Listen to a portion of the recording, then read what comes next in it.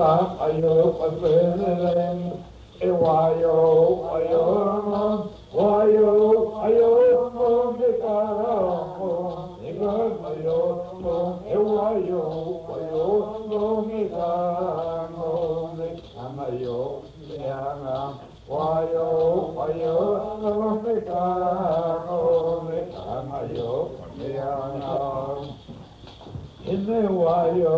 ayo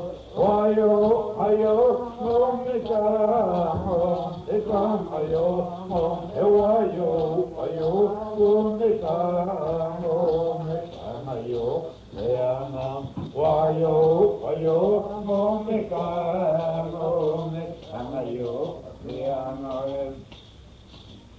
Ali no one ka ya ko ya ko na pe no one ka ayo ko se ne ne ka ayo ko se ne ne e wa yo ayo ayo ayo ayo mo me ka ayo e na wa yo ayo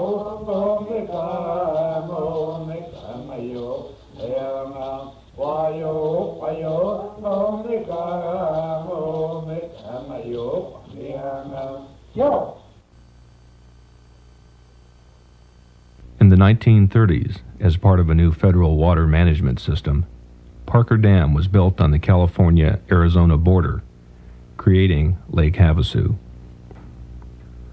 The damming of the Colorado River immediately transformed miles of barren desert into a playground for those who come for the summer sun or to escape the bitter cold of winter.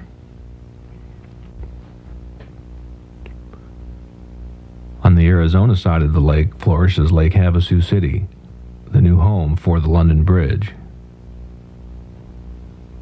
Across the lake from one of the fastest growing cities in the West lie 27 miles of largely undeveloped shoreline. These lands, located in California and totaling over 28,000 acres, were deeded to the Chemehuevi Indians by the federal government in the early 70s as reparation for the flooding of their ancestral homelands when the dam was built. This area is of great historical significance to our people, the Nuu Chemehuevi, because the fact that we feel that some of these stories that are told in these rocks were of episodes of great hunts, especially of the bighorn sheep that once roamed in here. You've heard me refer to our term Nuu Shemehuev or Chemehuevi. The Mojave people called us a Shemehuev, which through about 200 years of time and evolution, the name changed to what is now referred to as modern day Chemehuevi. Uh, Nu'u means the people of the desert, and that has been the name that's been carried down since time immemorial and identified us as the people of the desert, or the southern Paiute, as archaeologists also refer to us as. Name Chemehuevi came about from the name that the Mojave people call us, a Shemehuev. And uh, the, with the three elders that I've sat down and spoken with, Mojave elders from the Needles area California, they have more or less interpreted it to be the people who played with the fish or the people that played in the water.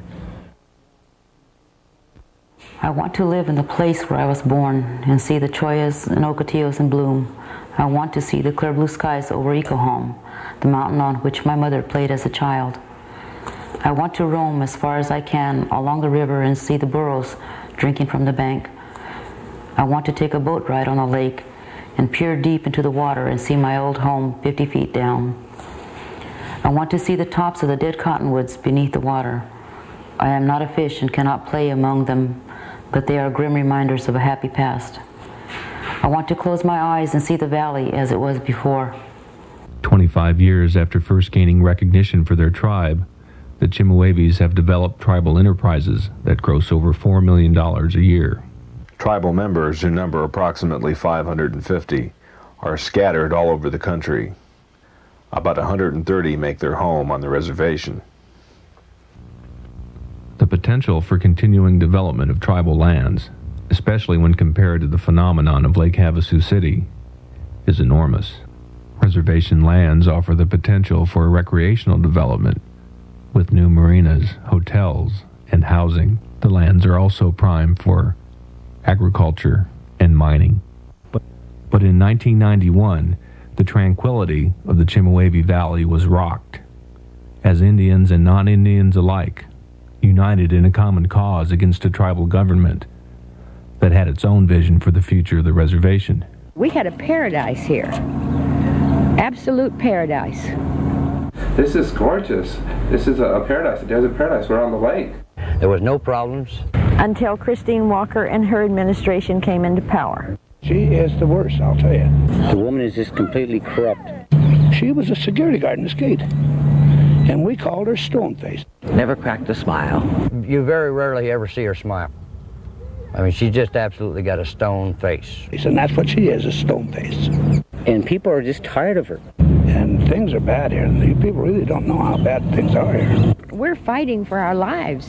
We're being raped here. So we're not putting up with it anymore. That's all there is to it. Something drastic is going to happen. And that's going to cause a whole big turmoil out here on this land. Because that's what it's coming down to.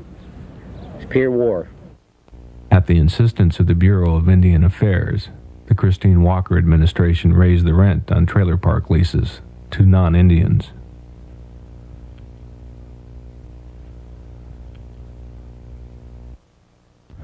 Wanda, why are you sitting out here on a beautiful day like this when you could be inside uh, enjoying yourself? Because as it stands right now, we may not have a home very long. The, it looks as though they're going to take our homes away from us. Because of our leases being declared invalid over 16 months ago by the present tribal council, we had what we thought was a valid lease. It was signed by the Bureau of Indian Affairs and by the general manager of the landing uh, but they declared it invalid, and that's how I originally got involved in this conflict. They told me that it was invalid, it was no good. And now then they're telling me that I'm a trespasser. And I put a new trailer up on the hill here about two and a half years ago. I got about 130, 140,000 dollars stuck in it. And right now it's not worth a damn. Bank, there's nobody alone. You can't sell. If you sell, you got to give the Indians uh, 10%. And it's just a, a big farce, you know. If uh, I signed the lease that they proposed to me, that I could stay, I wouldn't be a trespasser. But I will not sign the lease that they want me to sign. We're crazy if we sign them. We're signing all our rights away. When you pay rent for 20 years, what's the lease worth? I think as long as you pay your rent, you don't need a lease. My friend, Mrs. Bender here, she's alone. She lost her husband. She lives on Social Security. If she loses her mobile up here, what's she going to do? I need to have my home. I need to have that place to live. Otherwise, I'm going to have to go live with my kids. That's a no-no. I could live there for about six weeks. But that'd be real rough to do. Most will agree that rent hikes were necessary Past tribal administrations had undervalued the leases, and rent on prime properties was below market value. But other issues also raised the ire of the homeowners. We're paying an old rent of $177 a month. They raised our rent to 400 without any notice or anything. That isn't the problem. Our rent is not the problem. They should have had an increase before this. We agree to that. But when we have to turn over our insurance policies to them, they're the beneficiaries if our mobile homes burn. The leaseholders on the uh, resorts uh, have, have no redress in the American judicial system because of this notion of sovereign immunity. With my limited understanding, I believe that the leaseholders uh, would only have recourse to the sitting tribal government. Which at this point in time is controlled by one faction and one faction only. I understand that. But it's turned into much more than that since then. I guess because of our lease situation, we became much more aware of the suppression that the tribal member members have been living under for several years under this chairperson. And so we've all gotten involved trying to help them in their efforts to rid themselves of this person.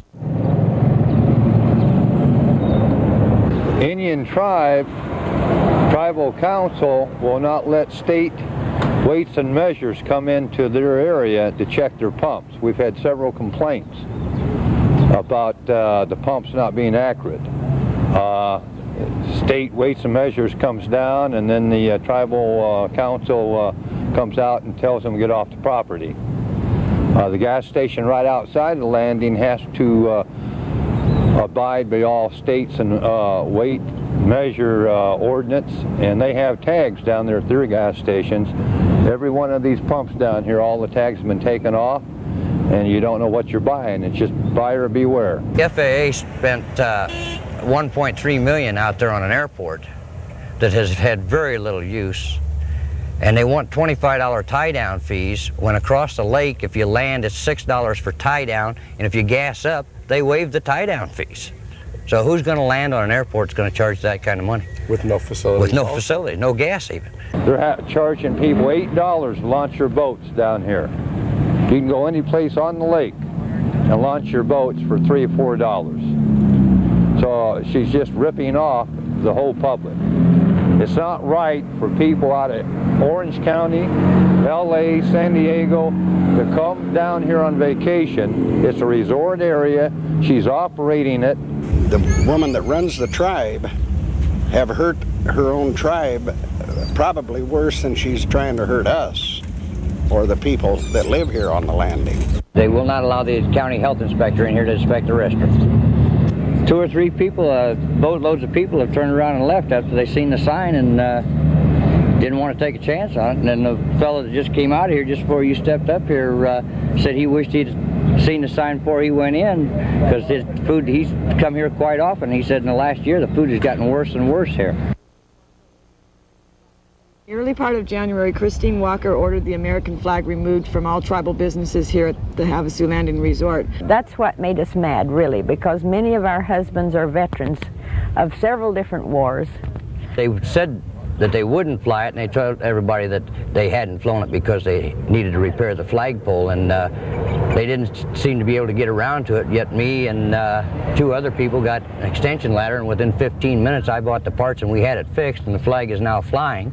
And when she said you cannot fly the American flag on this Indian reservation, that did it.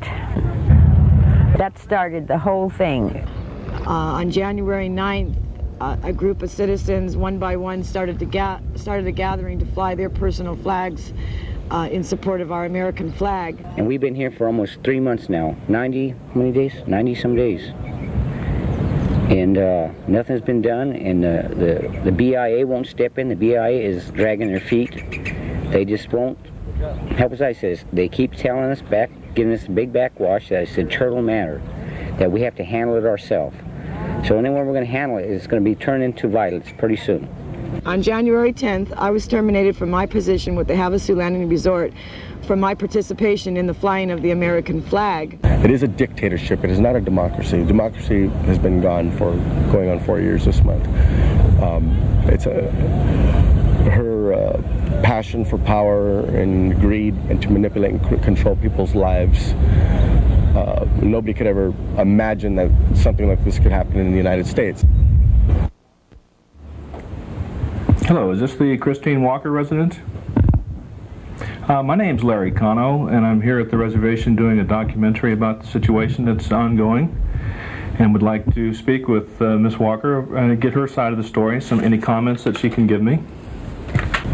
Miss Walker, would you mind at all if I tape recorded this conversation? Okay.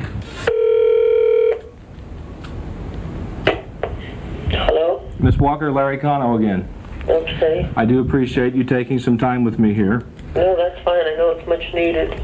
Can you tell me who's on the council now? Uh, well, there's myself, and there's Patricia Martis, Lavina Goodman, Mary Swick, Margaret Garcia, uh, Domingo Escara, Ralph Escara. Did I leave anybody out? Betty Escobar. So you have a full council. Nina, yeah, Nina Smith. I believe that's. Uh, is it possible for me to speak with any of those folks? Well, the the only ones that live here is my, that are here today would be myself and my daughter. Of the people that you named on this council, uh, how many of them are your relatives, Ms. Walker? How many are my relatives? Yes, please. Actually, all of them are my relatives. What we're all uh, really um, fighting it for is to get rid of the dictatorship here and have a new council, a fair one for the people, the general people, and one that is for the people, which we do not have at this time. I've seen such a, a council not care about their people or their reservation. It seemed like they were out to destroy both the people as well as the reservation. I was doing some consulting work for Intertribal Council of California. They got some newly um, money for Head Start programs that was part of the expansion program from Washington. And one of the new centers that they wanted to, to develop was here at Chemehuevi Valley. And so I was hired as a consultant to come out, check out the feasibility of it, do the hiring of the staff, and locating the site where it was to be held. We never got it underfoot, unfortunately. We had the money in place, we had the equipment in place. The equipment was already held here in storage. We had the site picked out, which was going to be the new community hall, which would have been ideal for the program. We had uh, the enthusiasm of the parents. The need was here. Everything was there, uh, except the blessing of the tribal council because they couldn't control it. Uh, does that have any reason why the Head Start program was disbanded? No, that's no reason why. The, oh, the Head Start? Yes.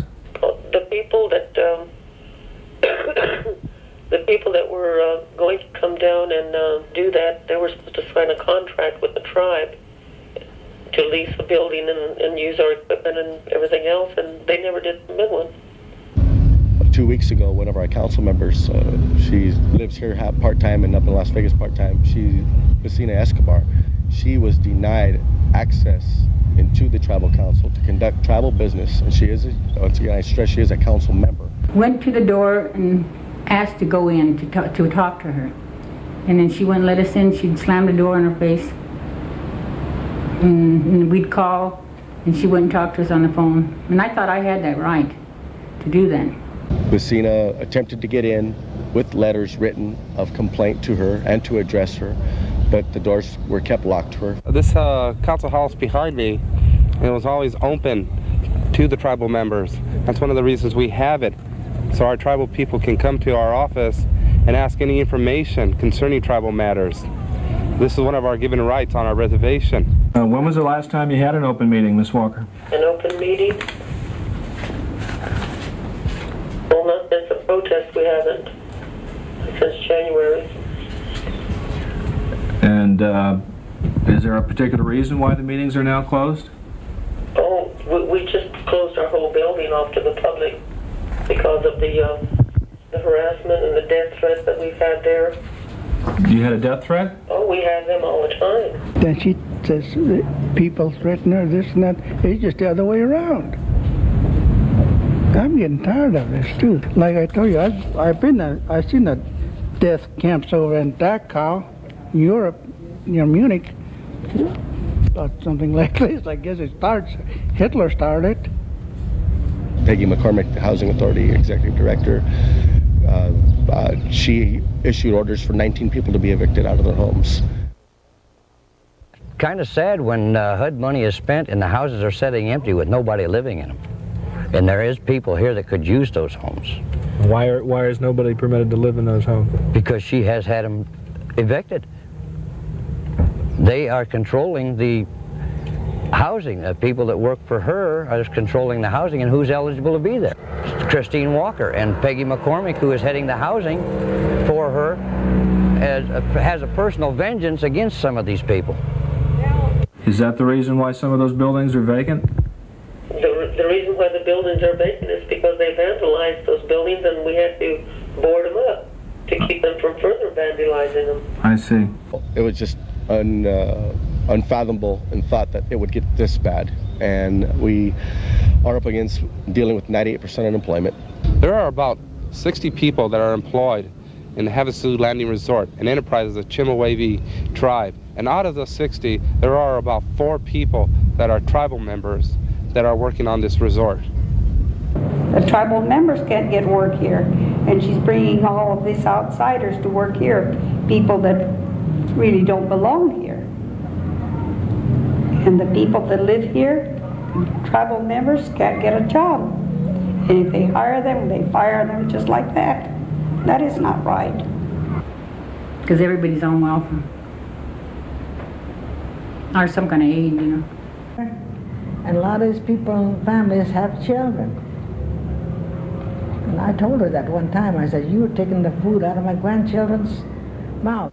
How many people employed by the uh, the reservation and the landing? The landing, the landing, I think there's there's probably about 30 during the off season, and there's about 75 during the uh, during the uh, you know our busy season, like Easter and up until Labor Day. Can you tell me how many are employed now? How many are employed at this time? Yes, ma'am.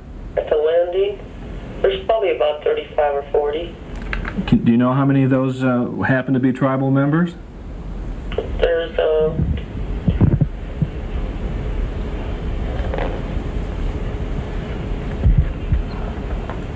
maybe there's seven Okay. at the landing. Because she wouldn't hire none of the people because she said they were all alcoholic and drug addicts. Are they? No. There's some good people here. And as far as what these people are saying about jobs, um, the same people are not working are the same people that don't want to work. The people that are working are the people that want to work. People have to move out to, to make a living. You know, we, we have tribal people that have to go behind the store and, and, and see if they find any food, day old food or anything. That's that's real sad. That, that really jeopardizes, Yeah. you know, their, their living. Um, people that are 86, uh, which is uh, a term for addiction. And the 86 list, I will explain, is um, the original protest that we had with uh, was all Indians or spouse of Indians, and we held up signs and marched down to the restaurant around and came back, and we are noted to be violent. they can't go into the store and buy milk or cheese or bread because they're on this list. And if the employees sell the, the food to the employ, or to the customers, they can lose their job again for disloyalty. How many people are on this list? There's about 26, if I'm not mistaken, and the majority are tribal people that oppose what Christine has said. They don't make it desirable, and they haven't for a long time, for anybody to want to be here. And we, we've seen several people pull their homes out of here, and if, if things don't get adjusted and changed soon, you're going to see more trailers leave. And I feel sorry for the, for the tribal members that are, care about this land and care about the area and care about the people and want to see just things get better for themselves and us because we're all here together. It's one community. It's kind of governed by one family and one family only. Um, I would say the not only politics, the greed of the money. Let me ask you about. Uh, there's been a lot of allegations about misappropriation of, of tribal monies. Uh, can you tell me the accounting practices that you use and how you account to the tribe for the expenditures of your uh, your budgets and so forth? Well, every year they're giving a they're giving a financial uh, status on the uh, on the account. It's our tax dollars that it's being given to her in the form of government grants through the Bureau of Indian Affairs and through other agencies, and it's being squandered by her. It's not being used for the purpose that it's given for. You know, we don't know where it goes. You know, we know you that we receive the funds, but we don't know where this money's spent. It's going in the chairman and her family's pockets. That's exactly where it's going because not one thing is done here. Nothing. Some of these folks, same folks, make the same allegations that there's monies being misspent now and so forth. Uh, are you willing to, to the proper authority to show your accounting and your books that all the monies under your control have been properly executed? Yeah, we'll be doing that as soon as uh, we have our, our audit. They might be keeping separate books too, you know, and all that. If the auditors come around, they probably have two sets of books. I'm sure of that. What Ms. Walker has done is monopolize the system, and, uh, and we cannot break the link chain right now. Every agency that we know, we have contacted them, from the Bureau, uh, from the Department of Justice, the Civil Rights, um, our congressmen. They're all fully aware of the situation. and basically they come back and say it's an internal problem. There's been no accounting to this tribe in a two and a half year period. That's what Christine said. She told me that. That's what she told you. She told me that. There's been no accounting by Christine to whom? To either, to the tribal members. Okay. Do you have a comment on that? Is that a normal uh, procedure that uh, goes on within uh, tribes in the United States and within the Bureau? Not that I'm familiar with.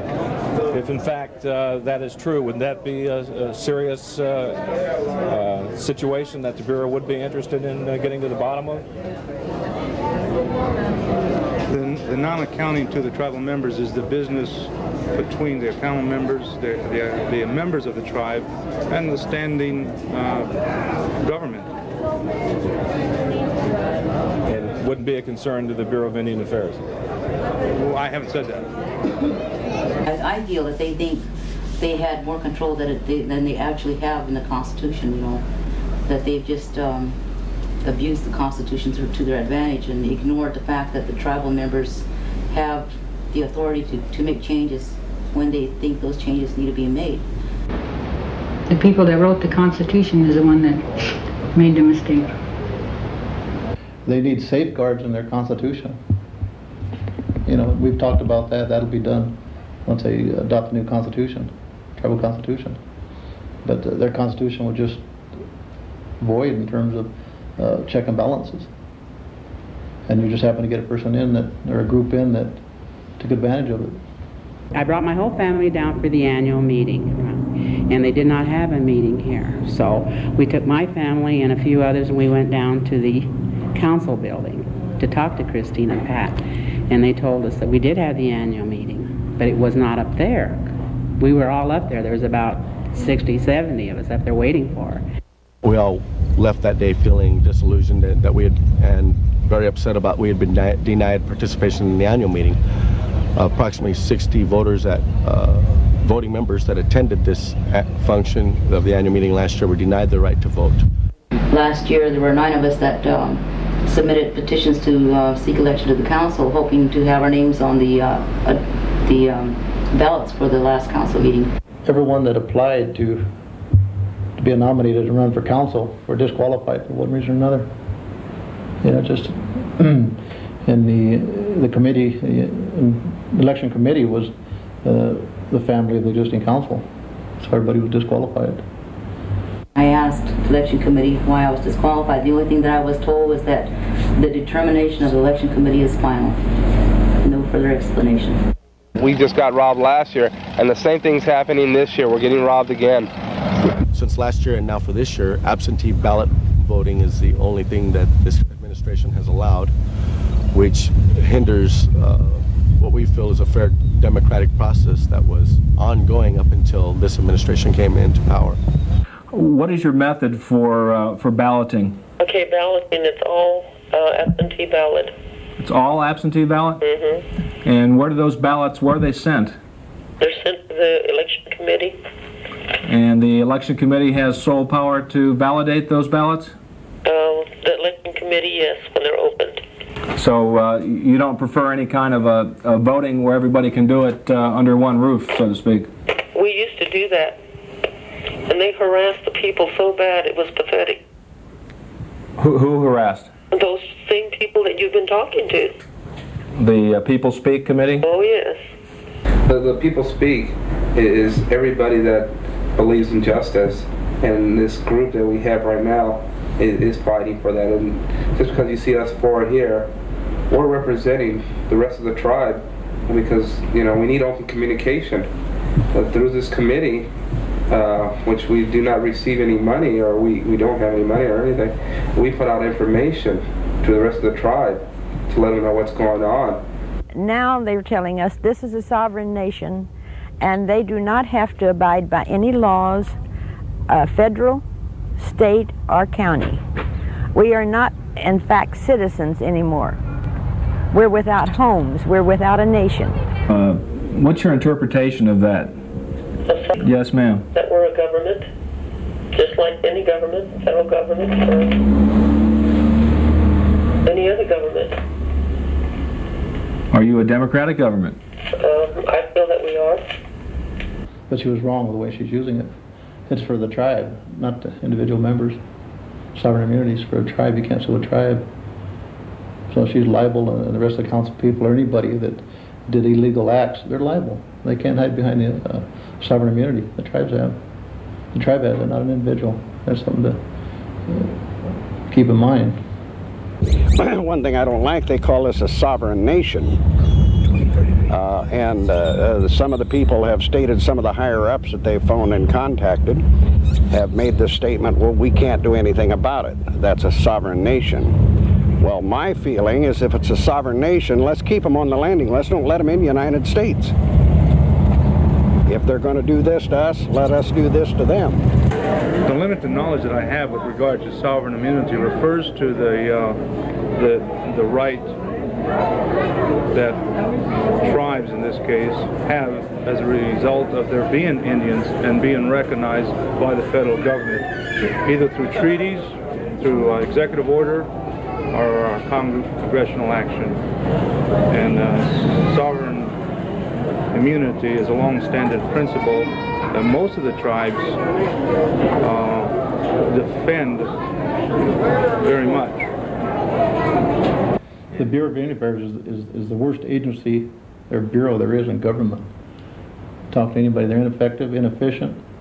Um, they should step in and take the position that, okay, if there's that much turmoil and you have such a split, then why don't they supervise an election? It's in the regulations where they can do it, and they're supposed to. Well, there hasn't been any violence on the lines, hasn't there? Has there? They've had guns out there. They've been, they're armed, those protesters. There's never been this much hatred any, and at any time towards any council. It's totally their wrongdoing and they must pay for their mistakes. I have to love that lady. I don't have to like her. Right. but I have to love her. Right. I have to say to her, you are human, and what you're doing, you're going to be responsible for when you go up there. I don't hold any hatred for Christine or for the people on the council. I don't hate them as pers- as people. I just hate what they stand for. The way they are ruining this reservation. We, we don't believe in violence. This is 1992. Well, we're not here at Wounded Knee. We're, we're not here to, to for bloodshed. No, these are all our people here, and we want to live in harmony, and we're doing the best way we can. We're just hoping that when this is over, that we still have a, a reservation. Well, back in the old, old days, that when the chief was hired, I mean, uh, when the chief was appointed for the tribe, he took all the duties of, it- of uh, looking out for the welfare of the people, and uh, and if he didn't, if uh, he didn't work out, if he didn't do his duty, well, the people had the right to oust him out. And like uh, O.T. says, that if he felt that he wasn't doing it, well, he he'd leave. That's the way it was. People. I mean, have you ever consider, considered resigning over all this? Nope. I'm not going to do it.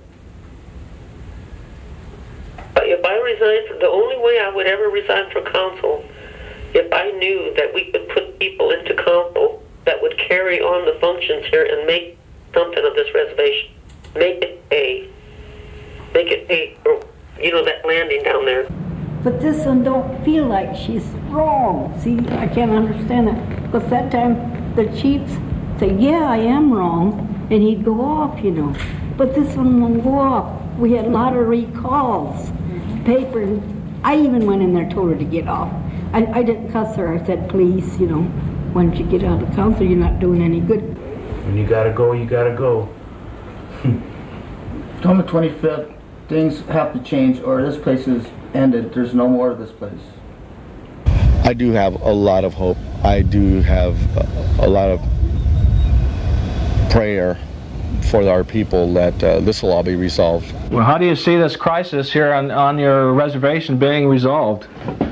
Well, what are you um, classifying as a crisis? Well, I mean, if you say there's violence and you say that there's protesters and uh, that you can't talk with them, and they are tribal members, uh, most of them I would think, uh, aren't they uh, something that has to be dealt with at some point in time?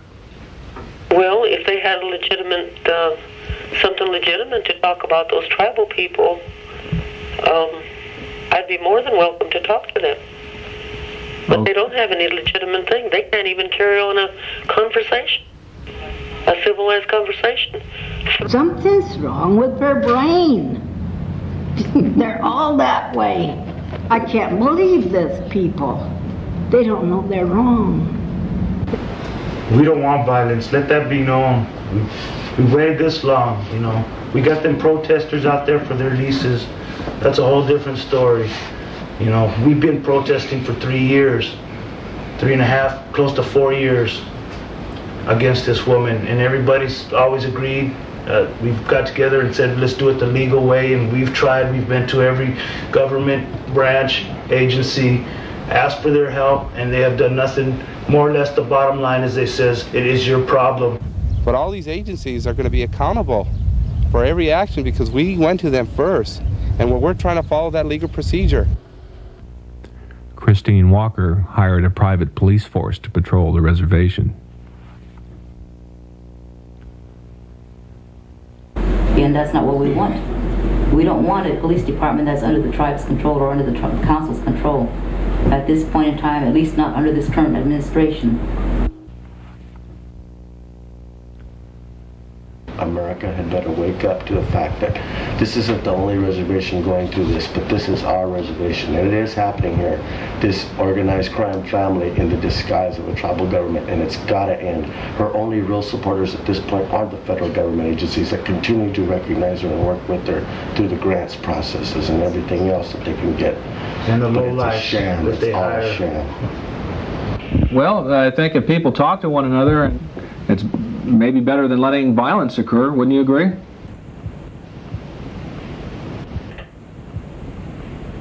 I don't know.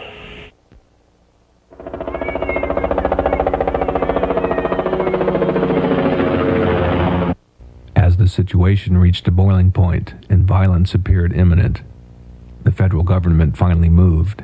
The FBI, in concert with local authorities and the Inspector General's Office of the Department of the Interior, served a search warrant on Christine Walker and members of her council.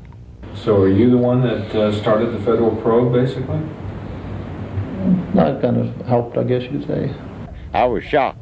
There was so many uh, federal agents out there, sheriff departments, carrying boxes out. And uh, according to the paper, they brought some guns out. So we stayed around and taped it. That's about it. Then we came back here, and then they raided the uh, council house over there and uh, busted the door open with a crowbar. They had a hard time getting it open, but they went in.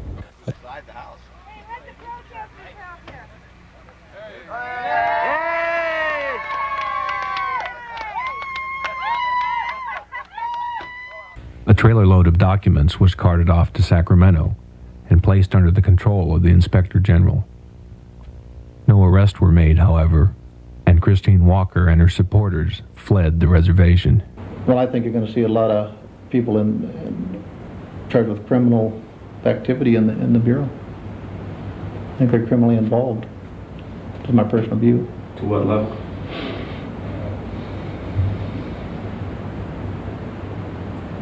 At least the area office, if not higher. I think there's some questions about it going extremely all the way up to Washington DC. That's being looked into, of course.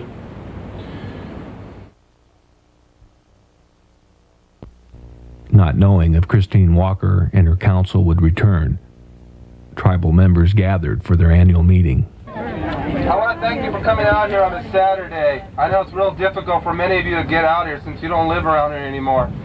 But we feel and we believe it's very important that you get out here and you know what's going on and to see what's happening with your reservation at this time. Um, we're going to have the meeting at the Fire Bell Station, which is just up on the hill, in about five minutes. But the reason we met here is because we believe that we should meet in front of our council building. And uh, so you can get to see one another again and talk and get reunited. Um, before we go, I'd like to take a moment of silence here. We lost one of our tribal person, somebody that was loving, you know, we're going to miss him very much. Um, his name is Mile Hanks, for anybody that doesn't know. And again, he's been beloved and he's going to be dearly missed. And we know he's at a better place right now.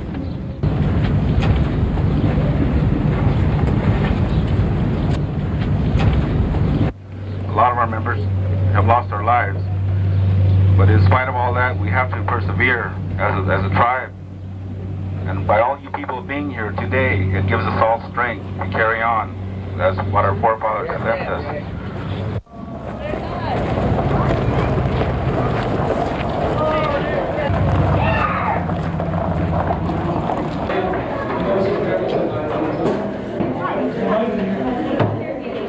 Okay, we're going to go ahead and commence roll call. I want you to know that this uh, eligible voters list was prepared by the People Speak Committee and it's based on um, the uh, tribe's 1987 and 1988 uh, membership roll and also other tribal rolls that we managed to get our hands on. Donald B. Hanks, Roberta Hanks, Jenny P. Harper, Teresa Vasquez Hartzell, Tina Marie Haynes, Adrian Hernandez. At this point, the way we see it, we do not have a tribal government. And I think everybody's under the same understanding is that they were, they are here, or they were here, they're gone, and we hope they're gonna stay gone. But nevertheless, the, the spirit of the Chemehuevi people is here in, in our hearts. This, this man is uh, Bud Brown. He's the acting superintendent of the Colorado River Agency that serves our area. I am the acting superintendent. I've been here about five weeks. We're here today just to observe. Know a lot of you have questions that you'd like to have answered, but that's not my position today. And there's a lot of reasons for that, and I can't even go into those things. I want to know why the BIA wields backed up Christine Walker when half her reservation, half her, half her people are against her, than half her people are against her, and why you won't stand behind the Chemehuevi people. We did not elect her in there. Her daughter held that election. She herself appointed her her uh, her own self as our leader. The people didn't. So now why when the people, are, we Chemehuevi people are crying for justice, why won't the BIA stand behind us? Why She won't you help she has moved Instead of Chemehuevi people out of here. Excuse me. I, I want to hear his answer. I would like to give you the answer. The uh, federal government has standard policy to recognize the government-to-government relationship. Okay, good. They do not get in and interfere. And that is the reason why. Okay, now there you have it right there. Why does this have a double standard? You say internal affair, but yet BIA takes a side, and it's not with the Chemehuevi people. You leave us in poverty and despair, helpless, at the mercy of this mad woman. See it driving down the road. Okay? Is uh, what does the membership want to do at this point? And uh, one thing that we were going to suggest to the membership is that we appoint or elect an interim council. Now, all this lies on, on your court, the membership.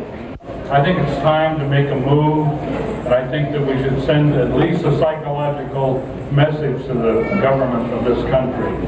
I move that we hold an election today to elect an interim tribal government which will preside until the Secretary of the Interior holds an official, official government election.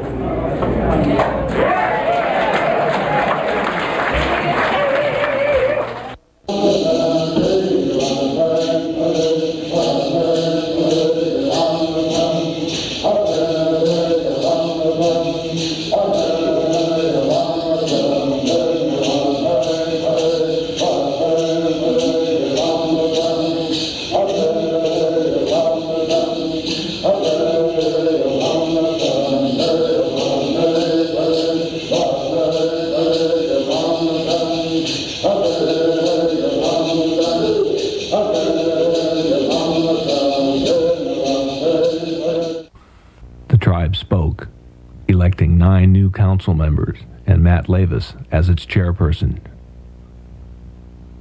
Remarkably, a change of leadership was made democratically and without any violence. If a new government is put into place, will it be recognized? Those are the type of questions I won't answer. As after the people met in public, Christine Walker and her council met in private, taking these photographs while on the outskirts of the reservation and sending them to the BIA as proof that they had held an official annual meeting. After the election, and for the first time in several years, the Chemehuevis celebrated.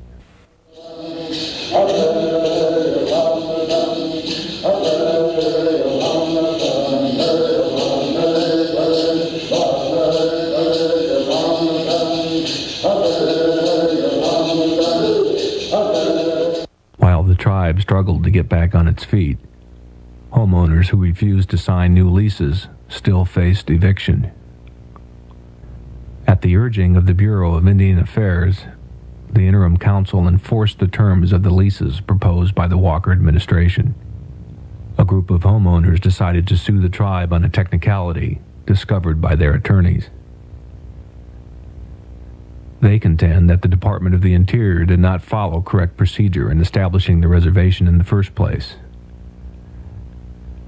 Now, legal title to tribal lands will be questioned in federal court.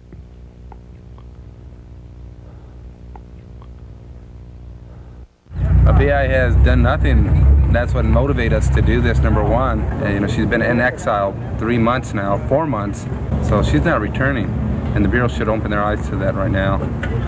Uh, we were supposed to have an election between 90 and 120 days, and now we're hearing eight months. Well, we can't wait eight months. We, we need an election now.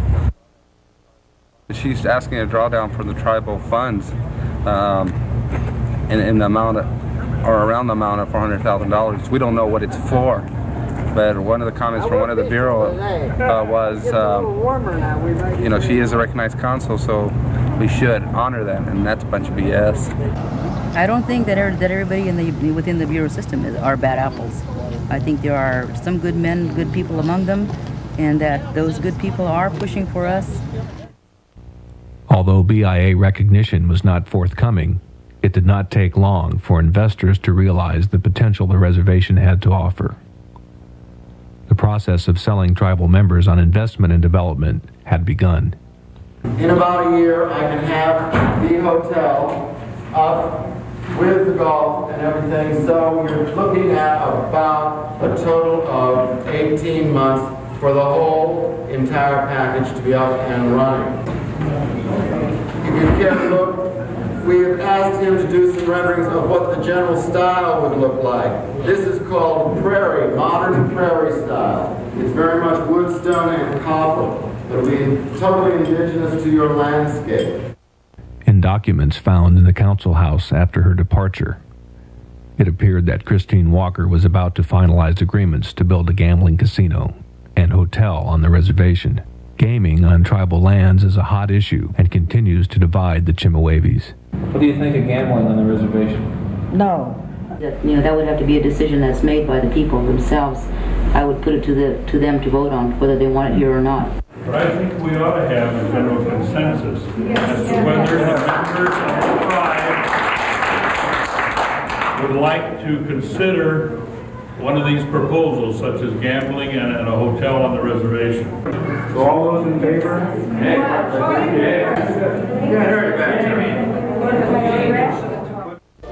Another lawsuit was filed in September uh, at the direction of the interim council. The interim council filed lawsuits, petitions, and brought pressure to bear on the BIA.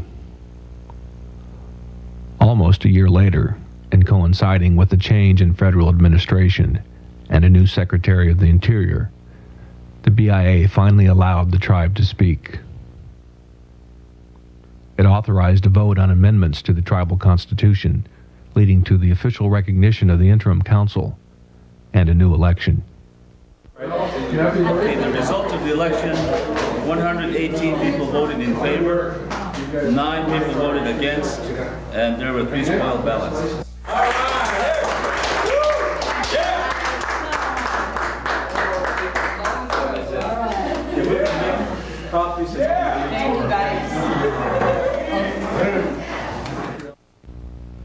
Finally, the tribe assembled once again, this time to vote in its new tribal administration. Okay, first one with uh, number one votes, Irene Kellywood had 76.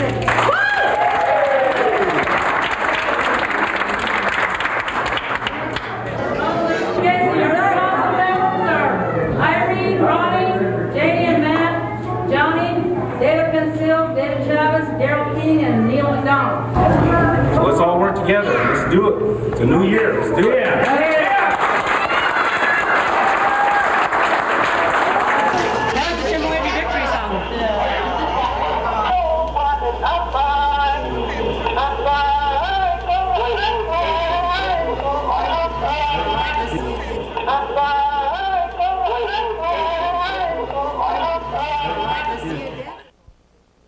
If a recall petition and all the proper procedures are met to replace you or any of the board members by the voting members of the tribe, are you are you willing to uh, step aside? I don't think that'll ever happen. What is this council going to do different? We're all good, fair business practices. We don't want to violate anybody's civil rights. What we're trying to do is in the right name of righteousness and for the people, by the people. And the people are elected here by the people. And we're going to carry out the tribal constitution to the best of our ability. And if a referendum is, is needed, then that's what we have to do to change that constitution. So things like what happened with Christine Walker and her abuse of power and authority will no longer happen here on this reservation. Two years have passed since Christine Walker was voted out of office. Much has improved on the reservation. There's a new Head Start program. The HUD office is open and once again providing low cost government housing. Many Chemehuevis, once without work, now have jobs. Well, people have a chance to work. Um, now they don't have an excuse not to work. There's plenty of jobs for everybody now. It's helped out. Hey! Spin the bottle and hurt on it. Hey, who left the fur coat? Oh gosh, it's been a long time since we had any type of festivities like this out here. Everybody coming together and just enjoying themselves. God, it's just a good feeling. See everybody with smiles on their faces and having a good time. And eating. deciding to introduce gaming on their own without outside investors or management. The tribal council has installed a small number of video pull tab machines in their resort bar. Now, a fight with the state of California over the legality of the machines is almost certain. As yet, neither Christine Walker nor any member of her council has been charged with criminal activity. And unfortunately, some tribal members allege that many of the abuses of the Christine Walker administration continue under the current tribal council.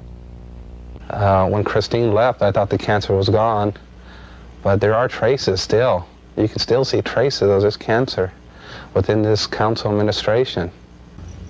A lot of things have occurred here since uh, Christine's administration was voted out, and uh, a lot of it has been uh, very controversial. A lot of it has been uh, very negative towards the community and the tribal members. You know, it's funny. Before people get into council, they're a different person. This power, once they get, it goes to their head, and they forget who they are or where they came from. Are you doing a good job? I, f- I feel that you know I spend a lot of time in here and a lot of time home reading that that I can make clear decisions on what we need to do and propose solutions for what we need to accomplish and if that's not doing your job I don't know what's what it is. We hear there's uh, problems within the administration with accounting records now. Uh, our financial uh, manager who works in the office has brought up questions questioning them where money and grants are going. There's always going to be people that are critical of any administration, no matter what year or who's in that administration. If I have any hope, it's that you know the tribal people here will understand that it's going to take time for anything to get straightened out here. It can take years before we finally get to the point where we, we all really want to be. And I, I see right now a lack of patience from some tribal members. Perhaps the problem lies in the inherent dilemma of government itself that it is impossible to please all the people, all the time. Or maybe there's just too much at stake. The management of the tremendous economic potential of the reservation would be a daunting task for anyone. One thing is for certain to see that progress is forged with integrity, accountability, and with regard for the interest of all members is the challenge for tribal leaders. To stay active and involved in their future development is the task for all Chemehuevis. that's a big responsibility. And um, if you you can't please everybody, you just can't. And uh, there's going to be pro and con. Um, there's always going to be family members. We're all related. Um, it's just going to be hard the way I feel, it's hard to please everybody. The concentration is not to avoid controversy on the reservation. It's just to make sure that when you have those controversies in the future, that they're done in an orderly way, according to law, and respecting the rights of everybody. And I hope that that's what we've achieved here. It's, it's a way of doing business. This isn't Indians, Indian people's traditional way of doing business. This council thing, uh, you know, this is what the Bureau of Indian Affairs idea. This is their idea of how Indian people should do do business, and the way they do business, in you know the good ways, the bad ways, such as the abuses of power that are happening right now.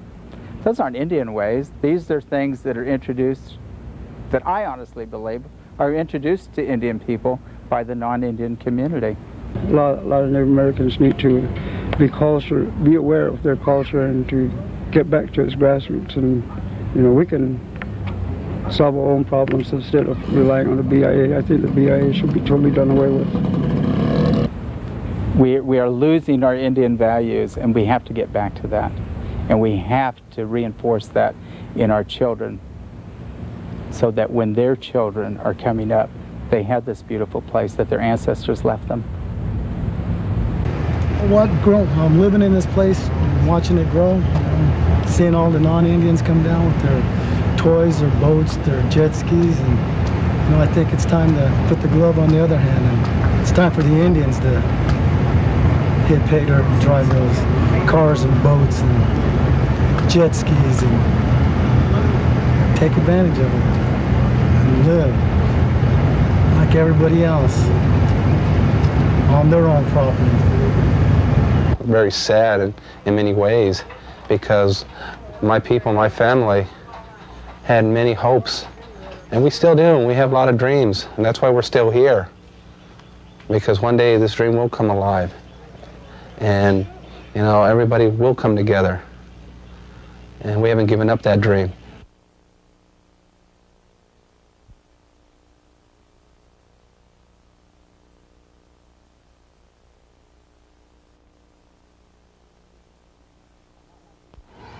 I want my people to unite as a tribe without bickering, for bickering is for children, and we are not. I want us older ones to work harder and pave the way for the younger generation and pass the torch to them so they may carry on where we left off. I want these young people to be interested in their heritage and to be involved in current tribal problems. I want to work unselfishly for our posterity and be able to say that I did my bit. I'd like to set the calendar back 50 years so that I could devote more of my life. Each day as I grow older, I am happy in knowing that our children's future will be secure. One day I'll sit in my rocking chair and gaze happily over this land called Chemehuevi Valley.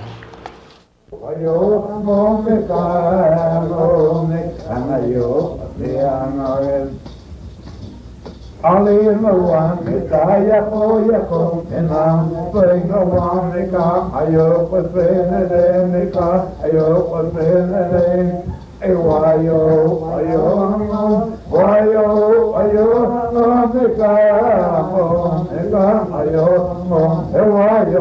ayo, ayo, namika, namika, ayo, ayo, ayo, namika, namika,